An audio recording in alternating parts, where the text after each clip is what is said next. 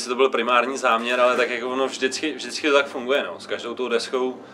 jako úplně nejmarkantnější to bylo s Dreamerem, že jo? A to jsme ani, jako ne, ani to nebylo programově takhle cílený, ani jsme to nepředpokládali, že se dostane, ale víceméně jsme udělali desku, která jakoby bavila nás a ten dopad potom nás i trošku jakoby šokoval. Teď s, eh, s Magic Telepathy mám trochu jakoby pocit, že tam jsou elementy, které zase jakoby trochu přitáhly ty lidi, kteří třeba po, po Dreameru odpadli, protože jim chyběla ta, ta drzost a drsnost uh, Moonshower Race Blades, a pak jsou tam zase jakoby věci, které posouvají takový ten náš, tu, tu naší jako obsesi jako taneční muzikou zase trochu dál, takže asi já ne, jako, ne, nedokážu to nějak kvantizovat, jako jestli prostě přibylo jako x prostě procent jako dalších posluchačů, nebo kolik jich jako ubylo,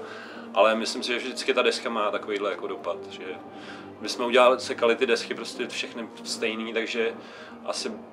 asi by to bylo fádní jak pro nás, tak pro ty lidi, kteří to poslouchají a chodí na koncert.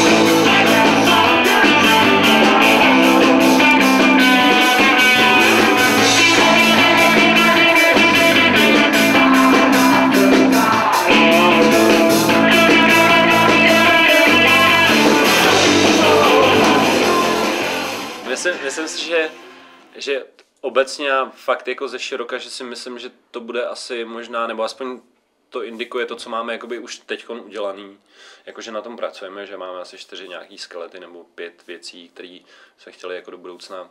považovat za, za věci, které budou jako, který třeba natočíme. Takže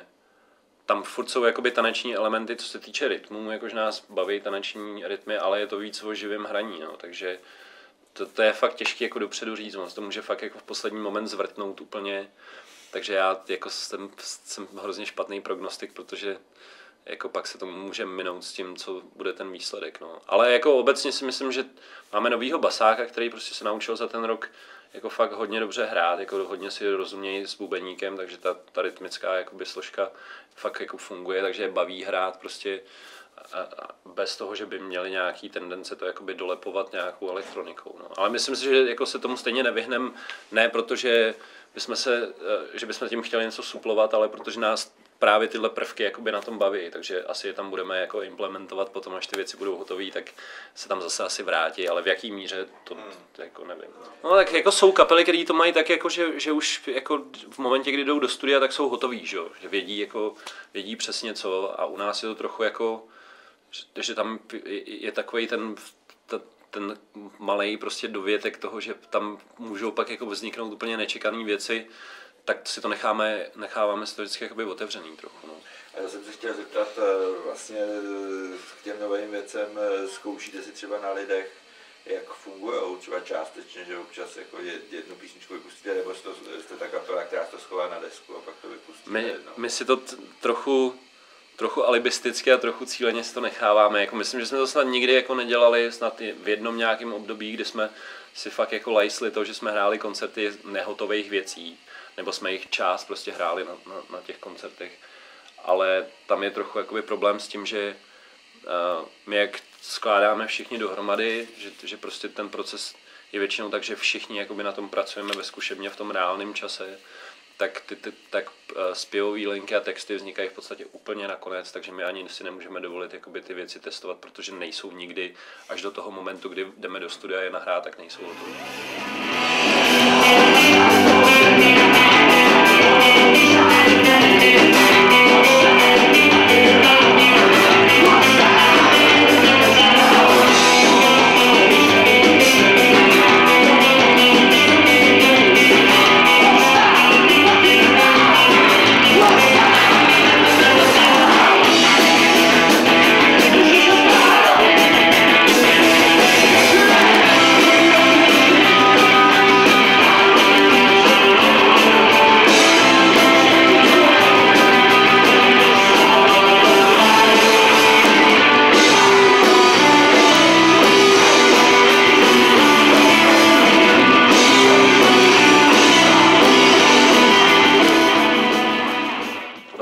Od konce chystáme klip. Chtěli, chtěli bychom jako, v, nebo v podstatě dva klipy. Jeden bychom chtěli mít hotový do konce,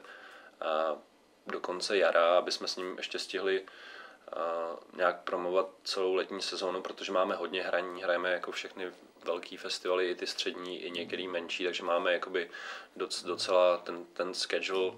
nebo Ferman do konce roku je docela, docela obsáhlý. A, takže klip bychom chtěli ten první, aby byl takhle, ten druhý, aby už byl k některý z těch nových věcí a chtěli bychom na podzim, zatím blíže nespecifikovaný podzim bychom chtěli vydat a to je taky ten formát, není úplně jakoby jasný. Původně jsme přemýšleli o tom, že bychom udělali třeba šestiskladbový EP plus nějaký remixy, ale může se stát, že pokud teda budeme,